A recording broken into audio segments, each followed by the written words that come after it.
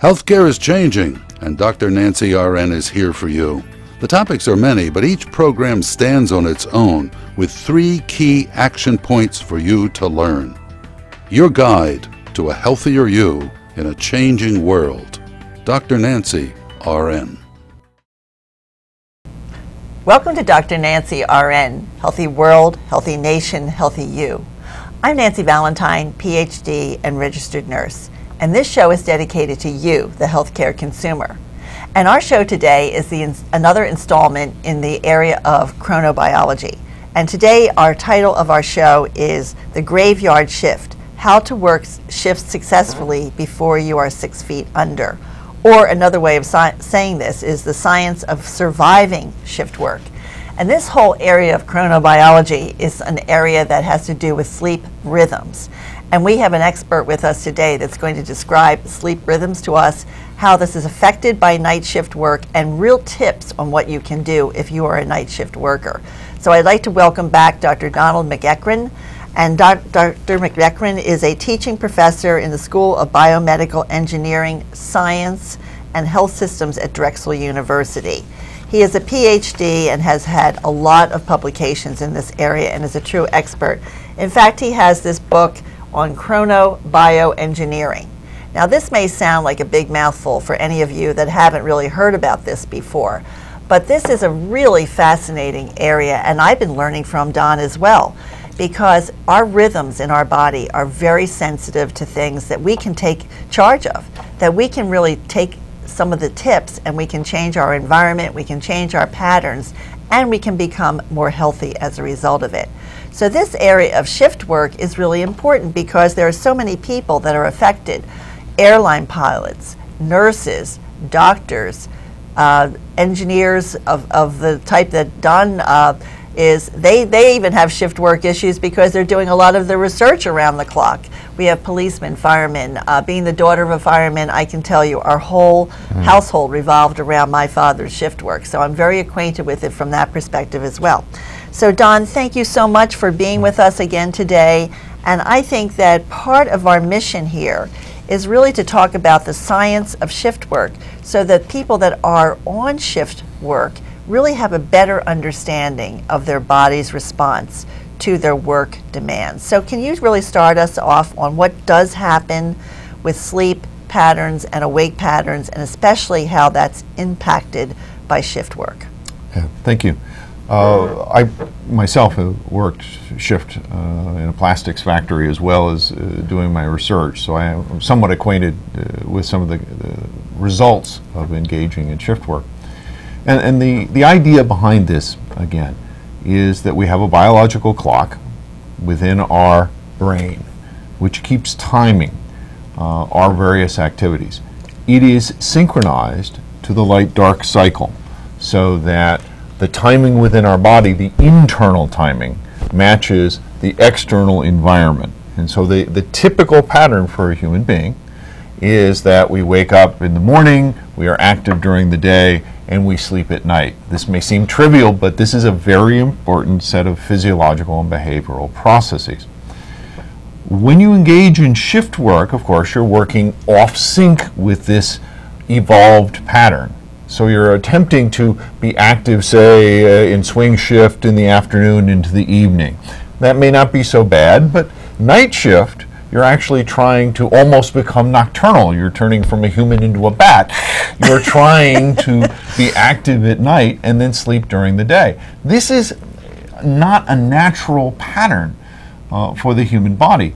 And it becomes a, a problem because what, what can happen is that as you go through shifts, if you're not stable uh, and only working on one shift, you're going from one shift to another shift to another shift, which is often the case uh, with shift workers, that it's a little bit like traveling across time zones. Uh, I'm sure most of you have uh, traveled to the West Coast or traveled to Europe, and you understand that when you arrive there, you seem a little off balance. You're not as, as happy, you're not as functional, you may be tired, fatigued.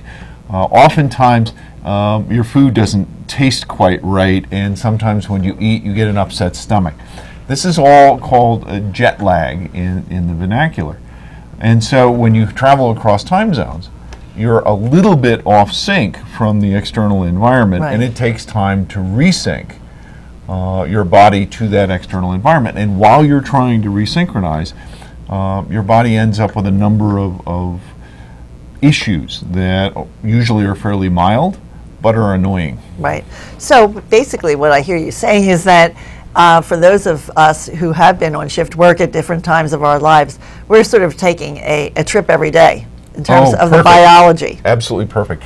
So what you're trying to do is you're, you're taking these trips, and remember when you did that trip across several time zones, it took us a few days before things stabilized out and you felt normal. And you did certain things. I- i- If you knew what was going on, you would wake up uh, at the time in the morning uh, in your destination. You get out in the sun. You end up resynchronizing to this new environment fairly quickly. But as you point out, if you're engaging in shift work where you're going from one shift to another, you're essentially traveling across not just one or two time zones, but six, eight time zones equivalent. And then you're only giving yourself a small period of time to resynchronize. And if you do this fast enough, you never resynchronize. So, in fact, you are getting jet lag and it's just getting worse and worse and worse. Right. And how do people experience that? Are there various um, uh, outcomes of that? People experience it differently. What are some of the general uh, takeaways from what ha- is happening in your body to what you experience as the person? Well, first off, uh, it should be realized that there are vast individual differences in people's tolerance to shift work. Some people, when they try shift work, simply can't do it. Uh, they feel so bad initially um, that they can't continue. Then there are people who seem to be able to tolerate it fairly well, that they don't suffer uh, significant abnormalities, at least uh, for a, a large portion of the time they're doing it. But if you were to list some of the things that are common to shift workers, they'd be gastrointestinal complaints, um, problems uh, like ulcers, uh, cardiovascular issues. There's an increased risk for myocardial infarction or, or heart attack. Um, you have sleep disorders. Oftentimes, you end up with uh, sleep deprivation. You don't sleep as well when you're working on a, on a shift. Uh, so you don't get enough sleep. And that, of course, uh, tends to make other things worse because you need to have a certain amount of sleep to function normally. Um, recently, and this is fairly recent and it's not uh, well established, but it's becoming well established, it looks as if uh, shift work also may increase the incidence of certain types of cancers. Um, another problem is psychiatric uh, complaints. I know of one study where the number of psychiatric complaints on night shift was 1,500% higher than the, the same number of complaints on the normal day shift. So these are situations that result from a combination of rhythm disorder, that is internal desynchronization, your rhythm's not matching your environment, and sleep deprivation. Right. So I think that part of uh, what we're hearing is that you can have some pretty ominous outcomes um, if your sleep is that disrupted. But the purpose of this program is really to acknowledge that you could be at risk, but also to give you tips on how you can really dampen down the effects of this and really pay attention to your own body. So it sounds like from what you're telling us, the most important thing is that despite working other shifts or the night shift, getting sleep is really critical. Getting enough sleep is certainly key. Uh, when I was working shift, um, night shift, one of the problems was that my apartment was not really uh, dark when I was trying to sleep. So there's light coming through the, the curtains. Uh, there were children playing outside. Um, the rest of the world was awake while I was trying to sleep. So one thing you can do uh, to help, and I think most shift workers uh, probably do this already, but just to, to emphasize this, is you want to try and get at least seven hours of sleep. And so you want to make sure that the place that you do sleep is dark, it's as quiet as possible, um, that you plan on this, that you make certain that, that as soon as you get, especially with night shift, the sooner you get to sleep after you get off night shift, the more likely you are to get the proper amount of sleep and the right restful sleep. Um, again, if there are lights in the room, um, try and make them red lights. They, that has less effect on your timing system than having white light. But it's really critical to plan uh, as, as hard as possible to get at least seven hours of sleep. Right. I think that's really important because it would be so easy to be distracted. I mean, when people, I know I can just speak from the, the nursing background that I have. When nurses go home, they've got often many other obligations. They're trying to get, Mm-hmm. they're trying to trade off and get their their children to school, or their children are coming home before they've had seven hours of sleep. There's always disruptions, um, but it sounds like those disruptions come at a real cost uh, because the bottom line is that our whole society really depends on shift workers. We wouldn't be able to run hospitals or fire departments or police departments or just go through a whole list of pilots. We wouldn't be able to have flights at night if it wasn't for people that were willing to work the night shift. Plus, there are a lot of compensation issues that are tied to night shifts. Often people are making considerably more uh, money, so it's a real incentive to work the night shift. But it sounds like these things come where there are premiums uh, attached to night shift. They would come at a cost if you didn't, if you don't take care of yourself. Well, also, uh, there are certain uh, sort of screening uh, factors that you need to think about when considering going on night shift. Um, the compensation may be good, but there is indeed a cost, and you need to think about that cost in comparison to the compensation. So, for example, I mentioned that shift work increases your risk for cardiovascular disorder. If you have um, a, a uh, cardiovascular issue to begin with, or if you have a, a family history, you might want to reconsider this. You might not want to uh, take that risk, but at least you should be aware of it. Um, if you have acid reflux disorder, as I do, for example, um, that would be a, a, a red flag for going on shift work because shift work has a tendency uh, to generate these uh, gastrointestinal issues. Matter of fact, I, I can give you a quick example, a little image here that I can show you as to why this might work. So, yes. for example, walk us through that, Don. if you look at this image, what you will see is there, there are two wave forms, two patterns. One in red that indicates the amount of acid being secreted within the stomach, and one in blue, which is the amount of mucus, which is like a, an antacid. Think of it as a biological tums there. Your body normally has these two rhythms in phase. That is, when you have the maximum amount of acid secreted, you have the maximum amount of protection secreted.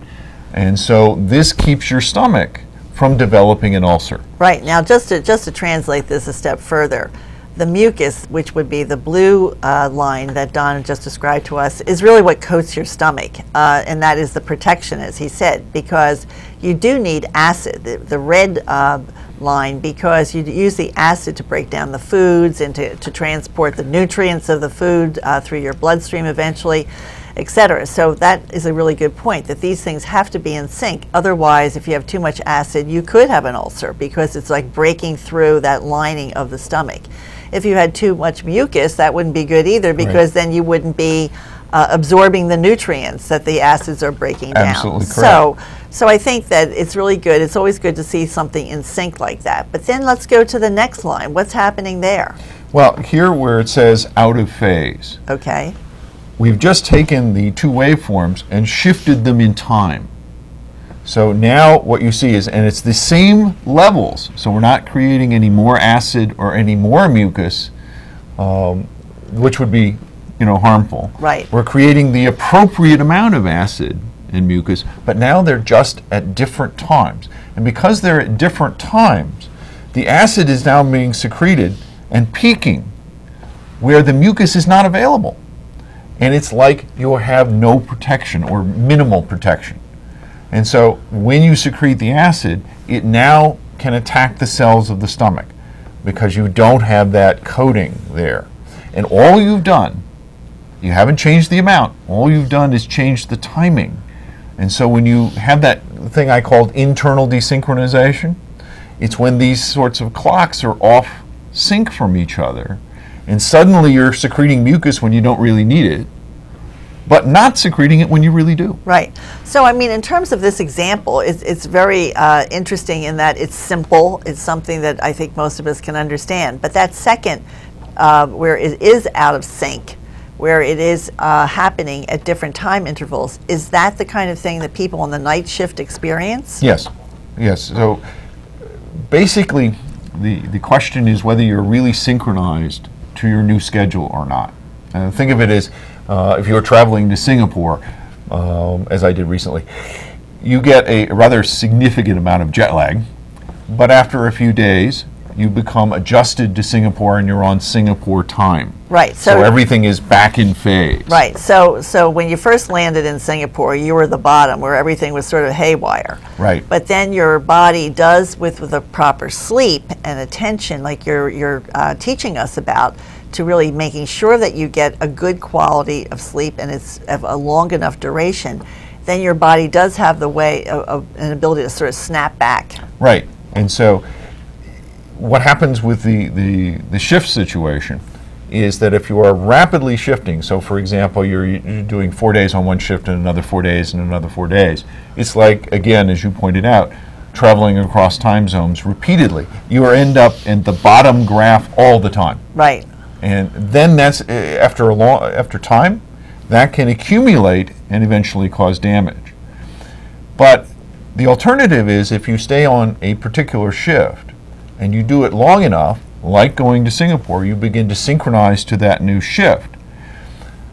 It's a little easier to do this when you travel to Singapore because, of course, the external environment is what you are synchronizing to. Right. You're in Singapore, so adjusting the Singapore time is fairly easy.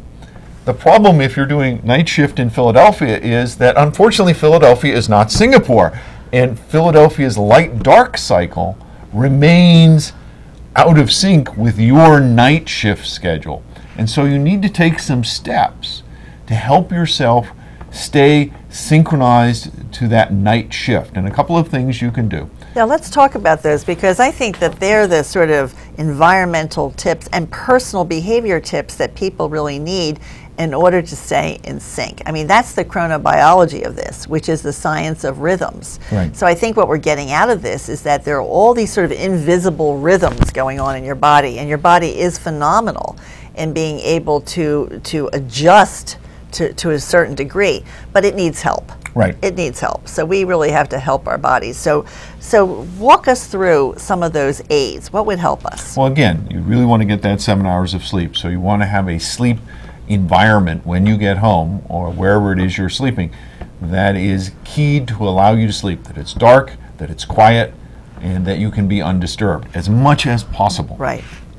The other point is because you're still, uh, say we're talking Philadelphia, so you're still in Philadelphia time. If you are doing night shift and you walk out of your job and you get hit with the rising sun, that information will be conveyed to your biological clock and it will snap you right back into a day active um, cycle. So as you try and adjust to night shift, being exposed to early morning sun pushes you back toward a day shift, and that would um, cause you to become internally desynchronized. Well, there's a fairly simple way to handle that, and that is fairly dark sunglasses, things that block out uh, a lot of the sort of blue-green light that comes out of the sun. That will help. Um, it's not absolute, but it certainly would help. Um, minimizing your exposure to, to sunlight um, while you're trying, you know, during the, the day, that'll help. The other thing you can do, and this depends on your cooperation from your employer, is if you can get a break room or a room where you can have bright light that you can go in and as you come on to your shift, um, say night shift, you can go into this room, be exposed with bright um, white light. That will help you to synchronize to your night shift. Right. Well, let's let's sort of uh, walk through those again because that is intriguing. Uh, I think that getting very dark sunglasses. Uh, polarized is fine, but Don told me that polarization of your sunglasses are really not going to make a difference. This is a different phenomena of really dampening down the light rays, period.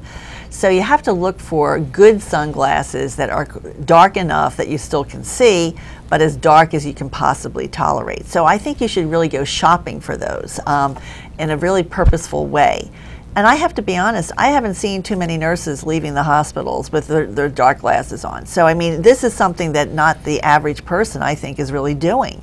so they're probably not aware of it. They're not aware of it. So I mean, this is really an awareness factor, and I think that it's so simple put those dark glasses on as you're you know walking out the door before you get to your car so you're not getting this blast of light that's going to make it even harder for you to go into that sleep mode. Because what you're saying is you're really retraining your body to have a different cycle.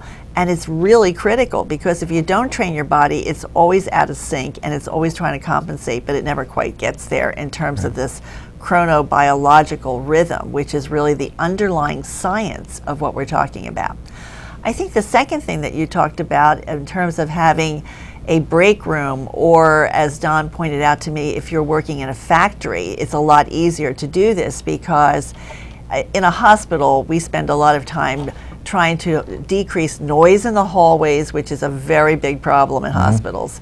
Um, and also, we decrease the light so that we can have our patients sleep. They, we want them on their normal rhythms. Right.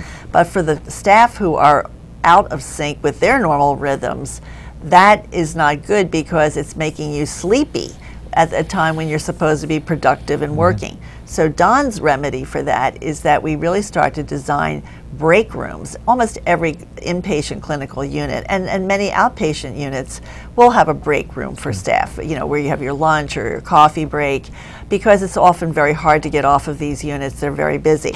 So if they were be designed with these bright blue green lights, which are either blue and green, as he pointed out. You can actually go out and buy blue and green lights because they operate on a portion of the brain that really, again, helps you to stay awake at night. Or these new LED lights, if you get the super bright ones, they have a lot of the blue green uh, light inside of them. So you're going to get the same, almost same effect as, as having an actual blue or a green light. Again, a simple tip but that could be a place where people go to write their notes or they go to for a cup of coffee right. or they're going to talk about a patient situation. They are really getting something back for their own physiology by having that. But I don't think, again, most of us know that that's, that's uh, something that we could do. So I think very few places have really done that. But that's a wonderful tip. Right. And, and we've done research, various uh, my colleagues and I, uh, looking at light. Um, and so um, there have been studies which have shown that if you increase light at certain times uh, of the night during things like night shift, you actually reduce accidents as well as uh, improve performance. So it's not just that you suffer when you are, are desynchronized, you are less capable when you're desynchronized. And so if you're both sleep deprived right. and desynchronized, you're prone to accident and errors in judgment um, recently, there was a study or there was a review published that seemed to indicate, which is really a very interesting result, that sleep deprivation of what we call rapid eye movement sleep, that sometimes people will call inaccurately dream sleep, close enough. Right. Or REM, REM, REM sleep, sleep. REM sleep. All right. So as you decrease your REM sleep, and this is what often happens with shift work when you have this sleep deprivation memories associated with negative emotions seem to be resistant to being lost. So those memories are retained, but memories associated with positive emotion, those are interfered with by losing REM sleep. So you have this emotional balance, and as you get sleep deprived, it shifts in a negative direction. Right. So uh, now you have this, this, you're not feeling well, you're fatigued, emotionally you're a bit raw, and you're making medical decisions, or you're a truck driver driving down the road, or you're an airline pilot making uh, life or death decisions, this is an issue. Right. It's an issue beyond your own health, it's an issue for public health as well. Right. I think that is a really important point, Don, because it's another symptom that you can pay attention to. And you can also ask those that you work with or your family members to point this out to you if you don't notice it. So if you become grouchy and grumpy, this may not be like a personality problem. I mean, it could be a personality issue, but it may be your rhythms are out of sync. So it's really a cardinal sign that you are out of balance and that it is really very critically important both for your uh, efficiency and effectiveness on your job and the safety of the others that you're caring for, as well as your own safety. And it's not a really bad idea to really ask people to give you that prompt because sometimes you're just thinking, I have a lot on my mind, I've got this, I've got that, and you're sort of rushing through, you're not getting your proper rest, and you won't know it's really a problem until it's too late. Like there's been an accident or car accident or whatever.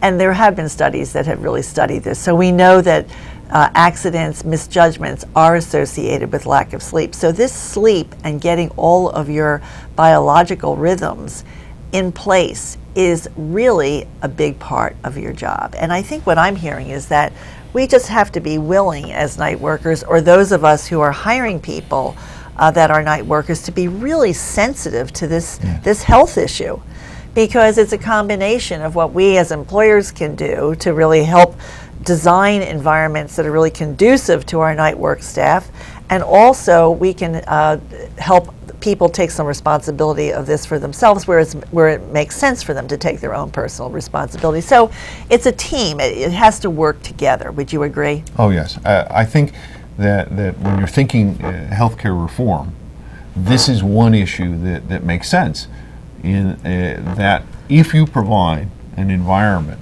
that reduces uh, the risk, reduces the cost of shift work. I mean, you certainly do, don't want to pretend that you can get rid of shift work. Shift work right. is, is necessary, it's important for our society. It's something essential right. that people do. But if you are screening uh, people properly, if you are sort of monitoring them, both uh, the individuals themselves, their families, the, right. the businesses, um, you can reduce the cost uh, and retain the benefit. Right. So can't reduce the cost to zero, but you can certainly right. Uh, right. reduce it significantly, I think. Right. Well, I would like to take this opportunity, Don, to dedicate this show and his amazing expertise as a neurobiologist in the field of chronobiology to really help us understand what it's like to be a shift worker. So I'd like to dedicate this show to all of you out there and to everyone that you know is a shift worker because I think that what we've done today is that we've gone through in terms of our three key points how sleep rhythms are impacted and how all of your biological rhythms are impacted by shift work. We've talked about some of the things that you can do about preserving your sleep patterns because that is really very, very critical to this whole equation. And third, we've gone through some very basic, low cost tips of things that you can do and perhaps employers can adopt in order to create with minimal impact as far as cost and, and redesign, but with powerful impact for the health and wellness of those who are working in these environments to really have the environment that's most conducive to your, your shift of your body and your rhythms often when we talk about it, it takes a team in healthcare to really make the difference as we are learning so much more and know how we can apply new knowledge. The science of how to get a good night's sleep, the science of how to preserve the health and wellness of shift workers is something that we've discussed today. And I want to thank Dr. Donald McEachron for being our our guest today and really educating us about this new field of study. I have learned a tremendous amount, and I hope that my colleagues in healthcare and those of you that are in shift work in various walks of life will be able to adopt some of these and really help us for our own safety and for the safety and welfare of the others that we treat and care for. I hope you've learned something today and that you will be able to use this with yourself and your friends, your family, etc. I hope that you will remember that with health, all things are possible. Thank you very much for joining us and have a wonderful day. I hope you enjoyed our conversation today and that the information will help you in meeting your health goals. Catch this program and other conversations on the website, drnancyrn.com. Or you can write to me as well. I welcome your comments and feedback. Thank you for listening and join us again. And remember, with health, all things are possible.